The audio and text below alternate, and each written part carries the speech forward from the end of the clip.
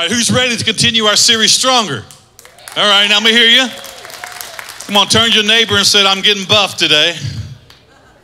We're getting stronger. This series should be making you stronger. I, I, expect you to get stronger in your spiritual walk with the Lord. It is teaching us how to put on every piece of the armor of God. And the Bible says we become strong and we can stand firm when we have on the whole armor of God. And we have too many people getting blown around that they are falling down every time frustration comes, every time something happens that they're not planning, they, they find themselves falling away, detaching themselves from God, the church, isolation, things happening because things aren't going the way they thought they should. But the Bible says just the opposite that we are to respond. It says we are to stand firm. He said, I want you to learn how to stand firm through every trial, through every tribulation, through every frustration. I want you to learn how to stand firm. And he goes, You can do that when you put on every piece of the armor. Have you ever felt like the sun is coming out on a rainy day and you see the one, one little beam coming out of the clouds and you're like, Yes, the sun's gonna come out. You know, I remember when I was a kid, we wanted to go swimming, you know, with the pool open back up, the public pool open back up, and it's raining, they got to shut down, but we, we see one, one beam coming out. We're like, just maybe, just maybe we're going swimming today. Only to have the clouds roll back in. You're like, oh, it's so frustrating. I, I remember uh, a few weeks ago when they opened up the restaurants where we could go back in and, and have limited seating, but at least go back in and sit down and enjoy some of our favorite spots. And my wife and I went to one of our favorite eating spots and we sit down in one of the booths there. And every other booth had a big yellow caution tape X on it blocking it off. And we are sitting down, I told my wife, I said, I feel like I'm eating at a crime scene. You know, this is like Everything was marked off around us. But I didn't care because I was so frustrated. I was glad just to have that little bit of hope again of eating inside of a restaurant, even if I had caution tape down. You know, it can be frustrating. It can be frustrating when we decided to open back up churches and we had people attacking the church. I had people sending me private messages. I had people attacking our church and other churches across the U.S. saying, you know, pastors, why are you opening back up? You know, and, and but yet it's frustrating when we can not complain about the casinos being open and not about the bars being open, about Walmart and Home Depot being open, but somebody wants to complain about the church being open. It's frustrating, isn't it? Yeah, it gets really, really frustrating.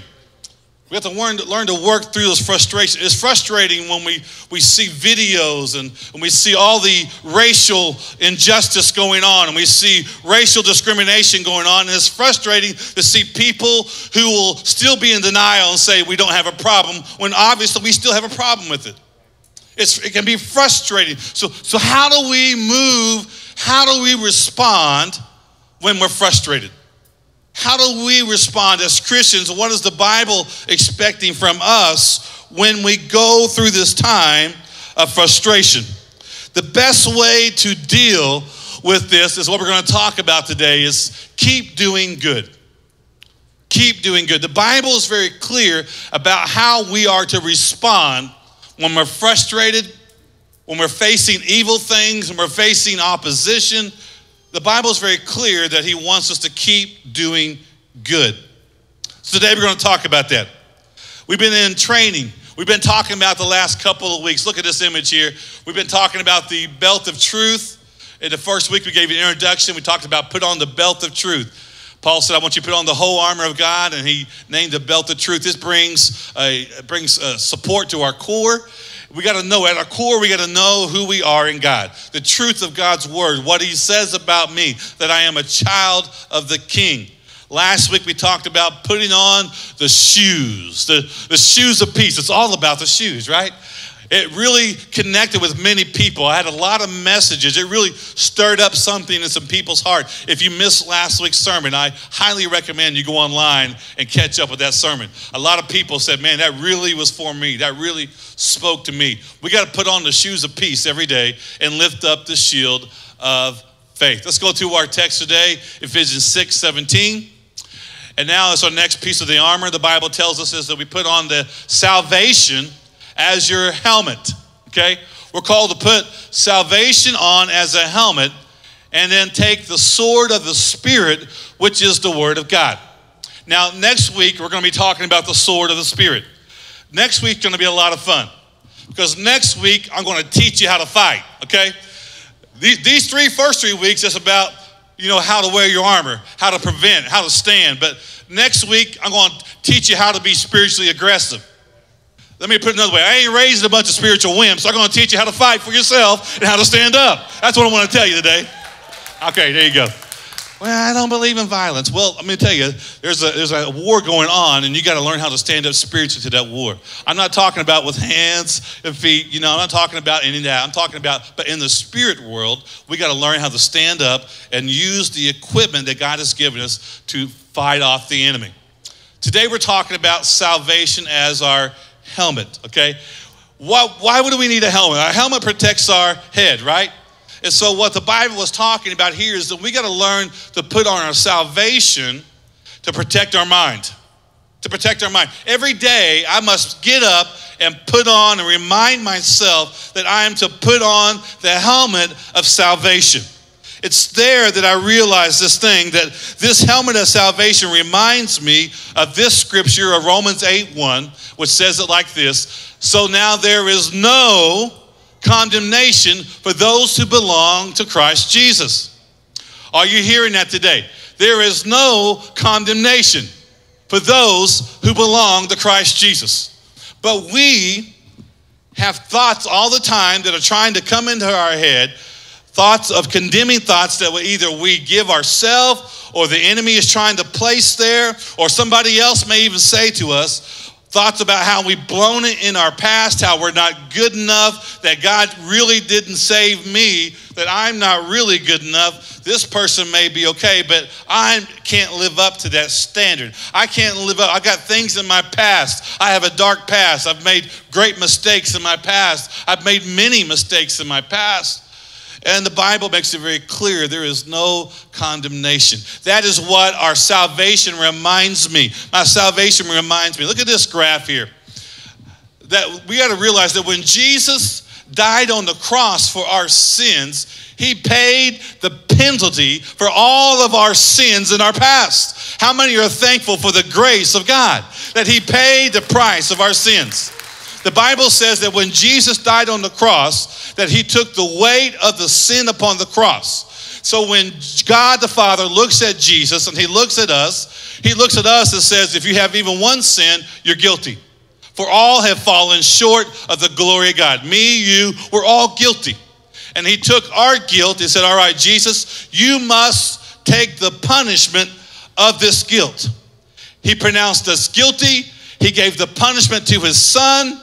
And now his son died on the cross for our sins. And all who believe in the power of what Jesus did on the cross and the fact that he was resurrected on the third day, now we are treated like the son. And when Father looks at us, he doesn't look at us as guilty, he looks at us as forgiven redeemed, justified. The price of sin has been paid. Now we are in right standing with the Father. It's an amazing thing we have. So he died for our sins, so no longer do my past has power over me. You got to realize. So I, I, remind myself every day my past does not have power over me. I get on and put my helmet of salvation, protect my mind, that I'm protected from that. And that I'm also protected by the power of sin presently. And that works twofold. I have been given forgiveness of my sins that I am currently commit now. Now, let me tell you this. But I've also been given power over those sins as well. I don't have to continue to live in sin. I need to be growing stronger. I shouldn't be committing as many sins as I did last year. I need to grow. I need to get stronger. I need to get more mature. I need to be walking toward the Father more and more and more. And so, why? Because I've been given freedom by the power of the cross. Sin does not have power in my life. I may still make a mistake, and when I do, the Bible says that is forgiven. What do you mean, Pastor Gene? Let me ask you a question. If I commit a sin tomorrow, does Jesus have to come back down to, from heaven and get back on the cross and die for me again? No. Why? Because when he hung at the cross, Jesus, one of the last words he said was what? Father, it is finished. The price of sin was finished. The hold of sin is finished. And so my sins have been forgiven in my past. And as a Christian, when I commit a sin now, I've, I've grieved the heart of the Father, but my sin has been forgiven. And the great news is this, is that my sins in the future, they're not forgiven because he's preparing a place. He's preparing a place where sin will no longer be there. And so my sins of the past are dealt with. I've been given power to overcome sin presently. And I've also, he's preparing a place where sin will never be there. It's a place where the presence of the Lord will reign, will, will reign, and there will be no presence of sin in that place. It's called heaven.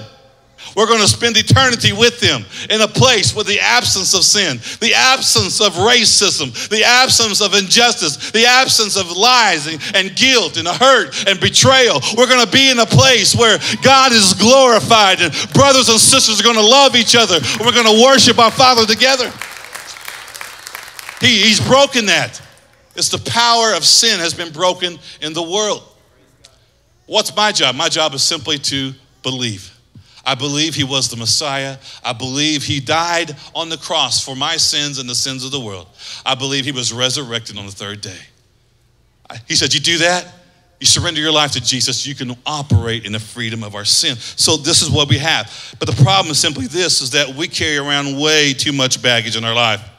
We're walking around carrying this, this baggage from our past man, I, I, I, blew it. I blew it here with my family. I, I blew it here in my past. I, I've hurt people. I've made great mistakes. And we're walking around like this all the time. We're walking around wondering why we're not getting anywhere, wondering why we're not making any, any grounds. Look, look what it says in Isaiah 43 18. He says, Forget the former things and don't dwell on the past. So you see I'm doing a new thing. I wish God would do a new thing in me. Well, it could be if you would just lay down your past. See, some of us are showing up at church every week like this God, I wish you'd do a new thing in me. God, I don't know why. I'm so tired. I can't run this race any longer. I'm always so spiritually fatigued. I don't have any, I want something new to happen, and I don't know why.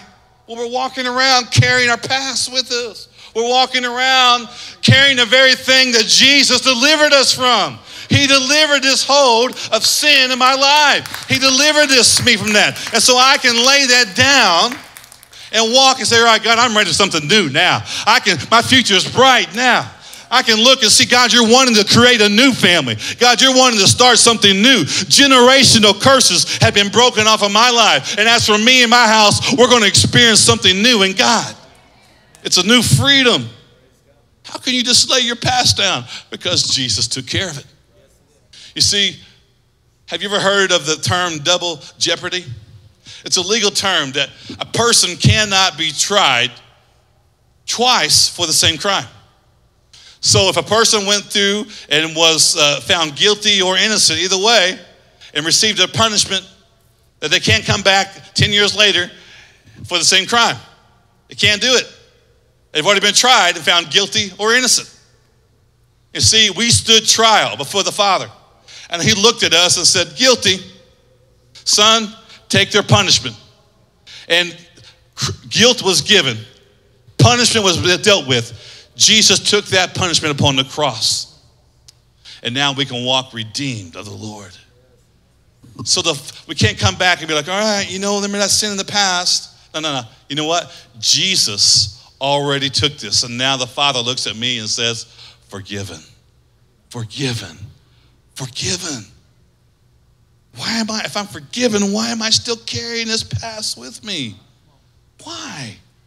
Look at this statement. I want you to see it here when I carry my past, I can't carry my armor. When I carry my past, I can't carry my armor with me. See, some of us wonder why we're not walking around with the whole armor of God? Could it be our hands are just full of things in our past? This time we lay it down. Say, Father, I'm not going to bring that back up. You've already dealt with it. You've broken the curse of sin in my life. I'm going to walk in that new power. I'm going to learn what it means to overcome sin. Instead of being dominated by sin now, I'm going to learn that I have the power to overcome sin. But if I don't, you still got the power to forgive that sin. You've already taken care of it. I don't have to live in that condemnation. So I put on my helmet of salvation. It protects me. Look what Galatians 6 9 says. So, what do we do? We put on our helmet of salvation, then we got to learn to do what's good. So, let us not get tired of doing what is good. At just the right time, we will reap the harvest of blessing if we don't give up. Listen, don't stop doing good. When you're frustrated, don't stop doing good. When you're aggravated, don't stop doing good. When things happen, listen, you're not going to change the world. You're not going to change the world through a social media post. You're not going to change the world by arguing with somebody on Facebook about something. It's just not going to happen. It's not going to happen. But how can I change the world if I go out and I just do something good? And I do the good thing before me today, and you do the good thing, and I teach my children to do the good thing. We're going to make an impact of good, and we're going to show God's goodness to a community, and hopefully it spreads. That's how I make a difference. He says, Don't get tired of doing good. See, we can get really tired of doing the right thing. Sometimes it feels like, man, I'm the only one doing the right thing. You ever felt that way? It seems that way sometimes, doesn't it? He goes, but you will reap a harvest of blessing. Don't give up. Keep doing the good thing today. And somebody needs to hear that word today. Don't give up. Keep doing good. Your blessing is closer than you think. The answer is closer than you think. Keep doing the right thing. Keep doing the good thing. Keep doing what God has called us to do. Don't give up. It's what God's called us to do. Don't give up. Do the next good thing. Write that down. So, what's the answer? How do I do the good thing? Do the next good thing. I know this is really deep, right?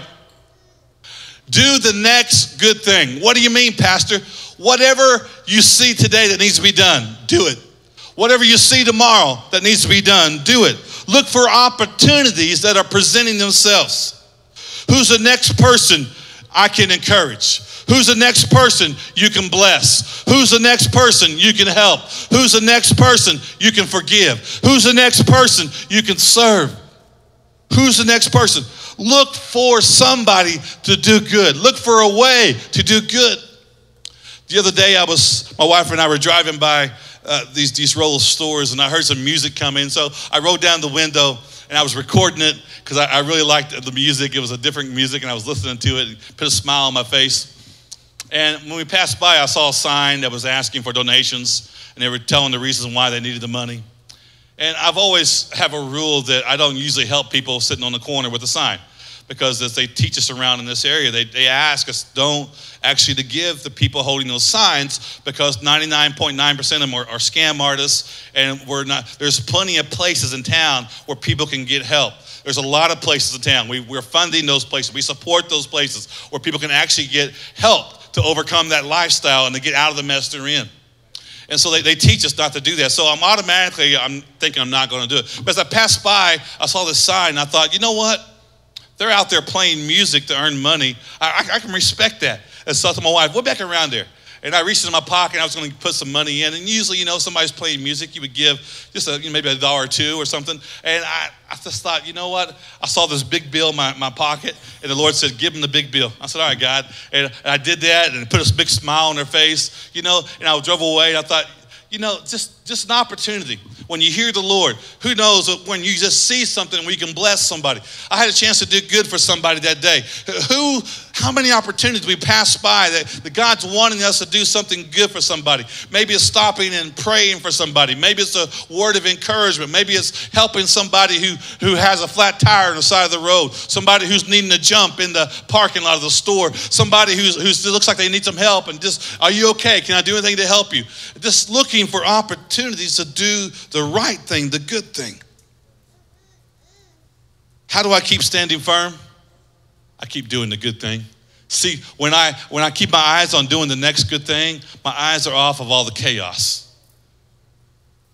How do I make my spirit feel better? You ever notice that when you do good for others that you, you feel good? Not only you blessing other people, but it's like it comes right back to you. It encourages you as well. I read this story the other day, and I thought it was an awesome story of a young man. He was a senior in high school, and his name was Antonio Gwynn Jr. out of Buffalo, New York.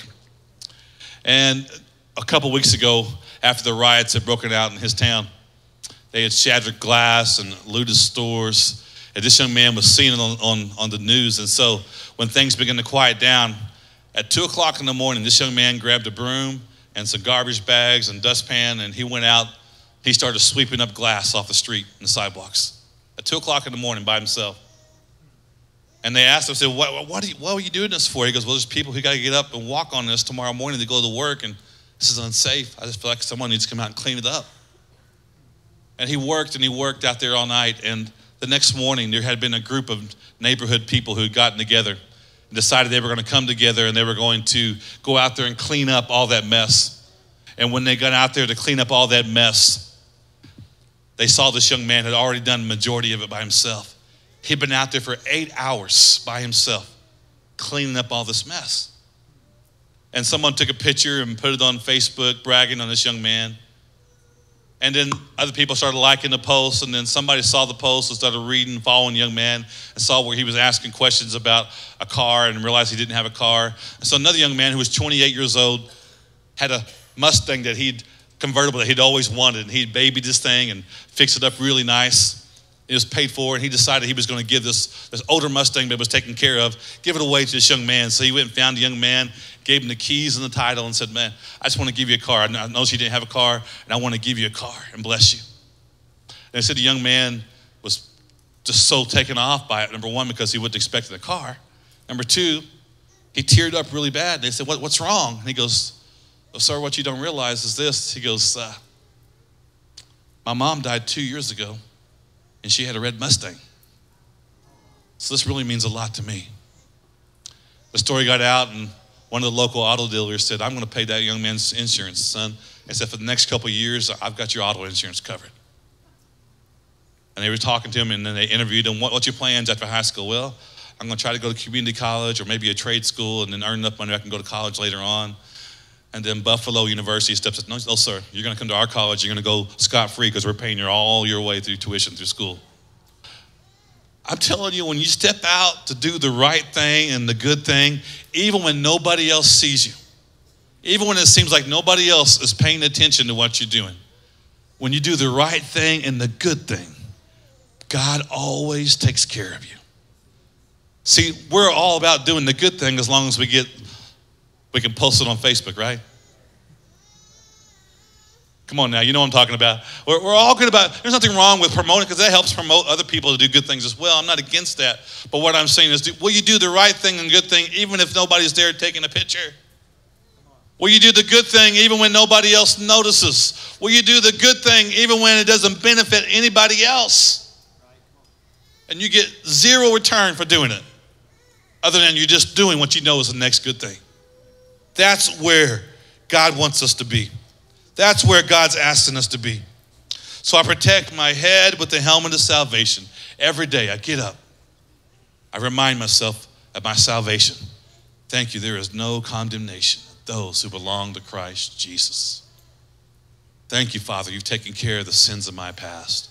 I don't have to carry this baggage around with me. I can lay it at the feet of Jesus and I can walk free and then it says, as we close today, I want to give you this last piece. It says we need to put on the breastplate of righteousness. The breastplate of righteousness. The breastplate protects our heart. Now, the reason why you would wear protecting your heart is that's where the enemy's shooting for. He says the enemy is shooting those fiery arrows at you. They're not aiming for your foot, they're aiming for your heart. They're aiming for your heart. Why? Because if I can hit your heart, you're dead, right? You got to realize the enemy is after our heart.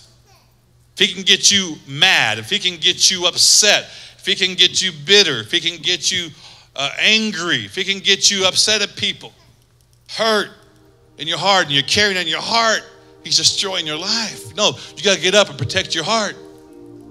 No, I'm gonna I'm gonna do the right thing. Why? It's the breastplate of righteousness. What does righteousness mean? It simply means this to stand in right standing with God. That I have been put in right standing because of what Jesus did on the cross. He took my sins upon the cross. And now all who believe in Jesus can now be put in right standing with the Father. So when the Father looks at me, he looks at me the way he looks at his son Jesus. He says, You've been, you've been taken care of. You're in right standing with me. Son, daughter, you're now righteous. See, now we got to realize that I've been put into that righteousness and I got to use that, protect my heart. It doesn't make a difference what somebody else thinks of me. God's already looked at me and says, righteous. It doesn't make a difference what somebody else does to me. God looks at me and says, righteous. It frees me up. It frees me up. It protects my heart. So, my job is not only to be in right standing with God, which I've been made through the Son, and now my job is also to give it away. To give it away. To do right to others, even when they don't deserve it. Do the right thing for people who don't even ask for it. Let me leave you with a couple of verses just to really challenge you to go deeper today to a different level. This is going to really stretch you. Are you ready? Okay. Romans 12, 14, and 15. Bless those who persecute you. Don't curse them. Pray that God will bless them. Be happy with those who are happy and weep with those who weep. It says we're to weep with those who weep. Not say, yo, dry up those tears. I don't agree with you. No. He says if someone's hurting, we should weep with them. If somebody's happy, let's celebrate with them. And he goes, if somebody persecutes you, Learn to pray for them and bless them. Wow, now that really is doing a good thing, right? But that's what Jesus, listen, that's what Jesus did for us. And He's calling us to a higher level. He's giving you a higher standard. He's pushing you. Come on, don't stay there in the valley of frustration and immaturity all your life. Let the whole armor of God elevate you to a place where you can learn to operate. Let's try this one. How about verses 17 and 18? He goes, Never pay back evil with more evil. Do things in such a way that everyone can see you are honorable. Do all that you can to live in peace with everyone. Boy, that's tough, isn't it? Because we want to pay an eye for an eye. You hurt me, I hurt you back. That's our natural instinct. And Jesus said, No, no, no. Because I want you to I want you to think higher than that. I want you to go higher than that. Don't pay back evil with more evil. That's not the answer. He goes, walk honorable. Walk with honor. Why? Because I've been made righteous. I've been made righteous. I can walk with honor. Live your life in a way that honors the Father. How can I show goodness? Because the Father showed goodness to me. One more here, and we're going to close. 2021. Instead, if your enemies are hungry, I want you to feed them. If they're thirsty, give them something to drink. In doing this, you will heap burning coals of shame on their head. Don't let evil conquer you. Listen, don't let it conquer you. Don't let evil conquer you, but conquer evil by doing good. Keep doing the good thing. Musician Daryl Davis wrote a book, How Can You Hate Me If You Don't Even Know Me? I've never read the book, but I have seen several interviews of him about the book and listened to podcasts him talking about some of the stories in the book. And Daryl Davis is a famous uh, African American musician, very good at the piano. And when his band would tour and play certain places, that people would just crowd to hear him play the piano because he was so good. He would and he would tear that piano up. It was really, really amazing. And one night he was playing at a particular place and people were there watching him and someone said, Hey, see that group of people over there watching him? He goes, They're members of the KKK. And so that kind of intrigued him and he decided after he got done playing, when they had a break, he was going to go over and talk to these guys. So he went down and introduced himself and sat down right at their table, acting like he knew nothing about them being in the KKK. He said all of them, their eyes got this really big, like right here. Like, what is this man doing sitting at our table? He started talking to him, and then he said, Hey, I, I, he was found out that the guy he was talking to was actually one of the local, he was actually the leader of that, that state when it came to the KKK. And he was sitting down having meal with them, and he said, I heard you're part of the KKK. Yes, I am. They started talking. He listened to the guy talk about why he thought that they were superior, and then he began to talk about how he felt. He goes, Is it all right if when I come back in town, I'll give you a call and you come back and we have dinner before I play again and we go out again and talk?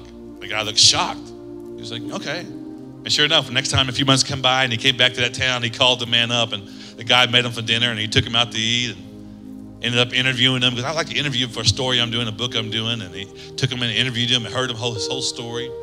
This guy began, this KKK leader began to like him so much, he allowed this man to come and actually attend one of the KKK rallies for his book, for his research. Can you imagine him showing up at a KKK rally? He's there and he says he's listening to these people talk. And over time, they begin to all come and listen to him play.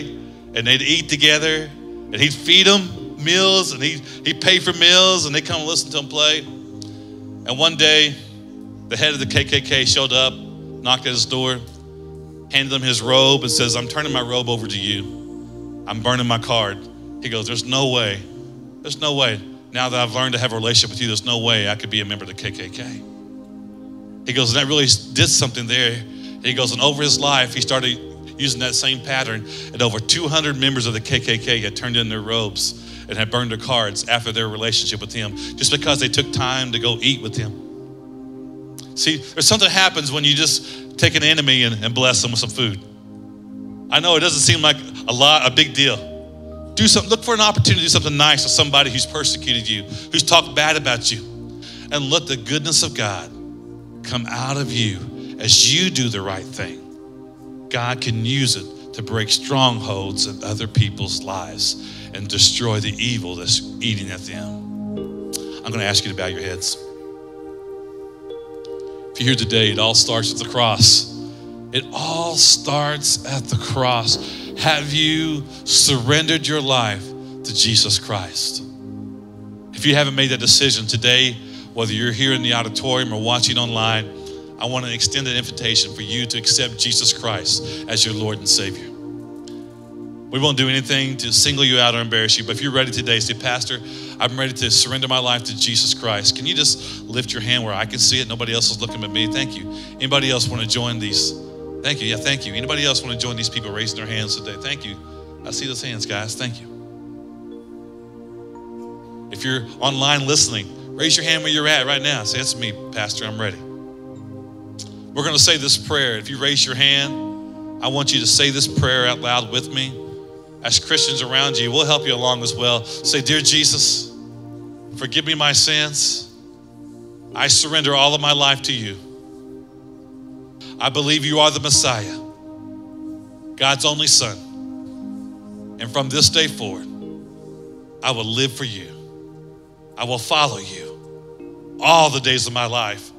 In Jesus' name, amen. We say, Welcome to the family of the Lord. Amen. That's an awesome experience.